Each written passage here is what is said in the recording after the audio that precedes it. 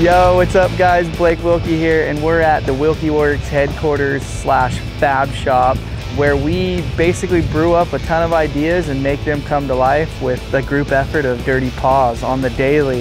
You can see behind me we have an array of toys. We got the future build of the TT Bug. We have the Hammerhead. We have a donor for a death boat ski. We got the 40 foot race trailer, the flatbed, and just a bunch of customers projects. There's a lot going on here, but there, we make magic in this small place that we can find in the hot spot of off-road here in San Diego, El Cajon to be specific. Check out the Hammerhead though. You might have seen this in the Hoonigan Build and Battle series. Me and my boy Kevin built this basically in 15 days. It has a sick roll cage. It has a lot of parts that you can find at 4WP, such as the rigid headlights, method wheels, king shocks, rough country steering, the Rubicon long arm kit, PRP seats, rugged radios. I mean, the list goes on and on with this Jeep. That made it super easy to make quick progress on that build and battle series. It whooped on Michael Cox's butt in that series. Luckily we got to take her home and, and keep her for, for many years of fun. She's been beated on since then very heavily and as you can see there are some battle wounds. Uh, mirrors hanging off dents, dings. It's that's part of the game. That's what we build them for. All right, well, uh, moving on here, we have a cut, grind, chop, lathe, mill, dirty workspace. Over in this area, we got a Bronco that we're putting a new lid on. TB Metalworks, Timmy Boy, this is his his few stalls, and then my stall in my area over here is shared with my boy Kevin and also Garrett. This is the Slug Shark. We just raced the Mint 400 with the Slug Shark. A lot of parts that you can find on this bug are also you can find at World Park, such as the whip, lights, seats, all that good stuff, shocks, mob armor mount for my GPS, you know, even your phone mounts and whatnot. So a lot of little knickknacks on this thing that were purchased at World Parts. We have a CNC plasma table. This is a right table. We decked it all out with full shreddy wrap and whatnot. We've cut a lot of material as you can see. So we're always blasting out whatever we can get our hands on for future projects. So here's another little project I got on my hands, a Smittybilt winch. I need to put this on my trailer for in case if there's any of those uh-oh moments. It'll be adaptable to the Jeep and both of my trailers, so wherever I go, this thing is gonna hopefully not be needed to save the day, but if it does need to be, it will. Kevin and Garrett, they got some really cool things going on over here. Yeah, this thing's, these two trucks are gonna be badass trucks, man. But that's a little bit of a look at the, at the shop. I mean, we got a decent amount of square footage here. You can see there's always something going on that's interesting, intriguing, or relatable, whether it's boats, Jeeps, buggies, trucks, you name it. This shop isn't afraid to take any of that on. Whatever the fun is, we're into it.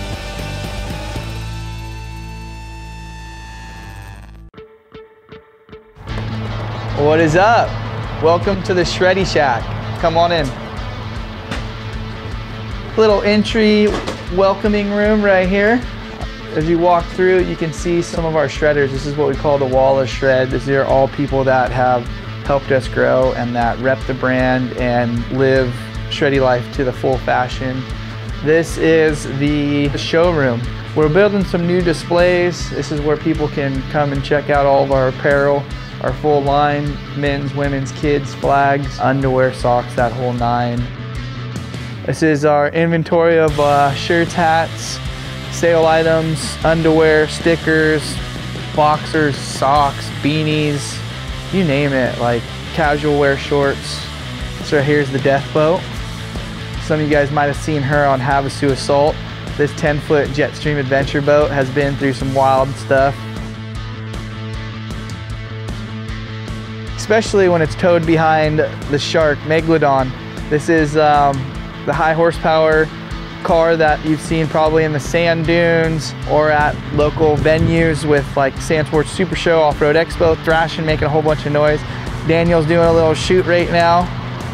As you can see, and we're just coming on in, my bad dude. Supercharged LS motor, this thing gets it. It's a very unique, one-of-a-kind vehicle, and we always push her to the limits. Unfortunately, she's a little dirty, so bear with me. We take and we use and we abuse our equipment to the fullest. A lot of these parts on the rig can be found at 4 Parts, such as rigid lights, PRP seats, buggy whip, Rockford Fosgate system, rugged radios.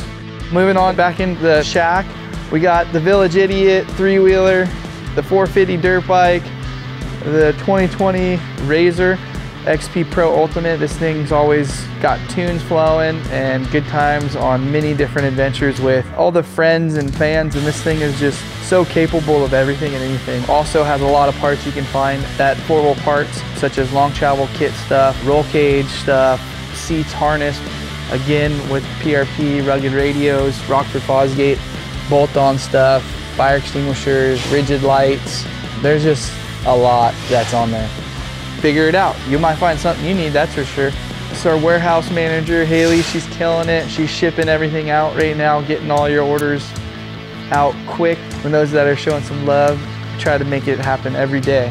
Sometimes we do some custom pieces here, press on custom patches for suits, headwear, uh, branding, all that good stuff. This mini pipe has bitten a lot of people. It always seems like a good idea until it turns into a bad idea and that's happened quite a few times. Personally, guilty. now we're rolling up into Aaron's office. He's my partner with Shreddy.